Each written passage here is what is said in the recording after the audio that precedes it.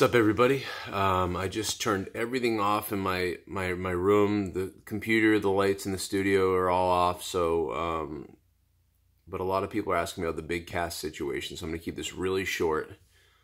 Uh, there was an altercation uh, backstage, and apparently Cass was saying things like, I'm going to kill you uh, to Joey Janela which, you know, thank you, Big Cass, for uh, sticking up for Joe Cronin against uh, back down Joey Janela. I do know Joey Janela is has been cowardly, but uh, I don't know if that means you should try to kill the guy. Um, and I, I, guess in the end, it resulted with Pat Buck punching uh, Big Cass or taking out Big Cass somehow. So it has to do with Pat Buck and Big Cass and um, Joey Janela. And probably because, you know, Big Cass um, was maybe sticking up for Enzo, right? Because Enzo had that confrontation with Joey Janela. And then I asked Joey Janela to be on my show, and then Joey Janela said, fuck you and your show, basically. So I, I know I know one thing. Enzo pisses people off, and people don't like him. Big Cass pe- pisses people off. People don't like him.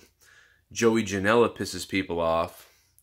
And Joey Janela was a dickhead to me. So from my point of view, Joey Janela is a bitch. So you got kind of all these bitches coming together to fucking fight with each other. And then you got Pat Buck, who Ryback says is a bitch.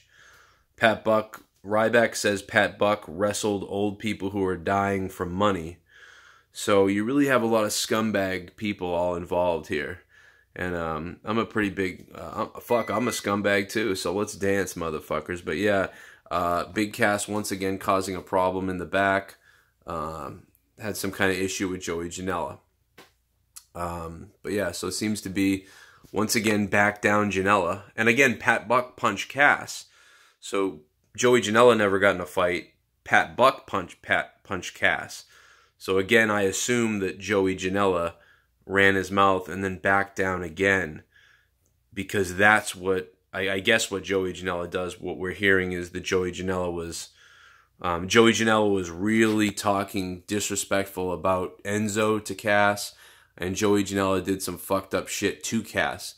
So we're hearing that Joey Janela was really an instigator and really a piece of garbage. And when Big Cass called him out on it, you know, then Pat Buck stepped in and punched Big Cass. So really protecting Joey Janela, the baby. Um, so yeah, so it's just a big weird situation here. I'm hearing, I'm getting some more information from one of the guys that was in the locker room essentially or near the locker room. Um, but you know, I don't know. Other people might may get better information quicker.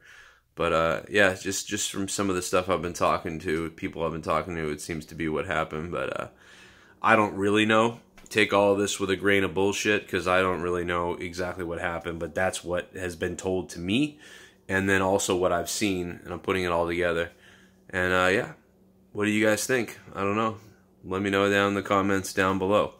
Um, killing people is never cool, and then and then apparently you know, there, people are saying that Big Cass then said he would kill himself or something like that.